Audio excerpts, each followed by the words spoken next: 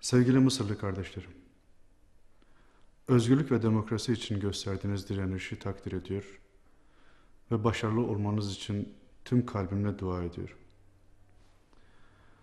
Ülkenize gerçek manada özgürlük ve demokrasi gelinceye kadar sabırla mücadele edeceğinize inanıyorum.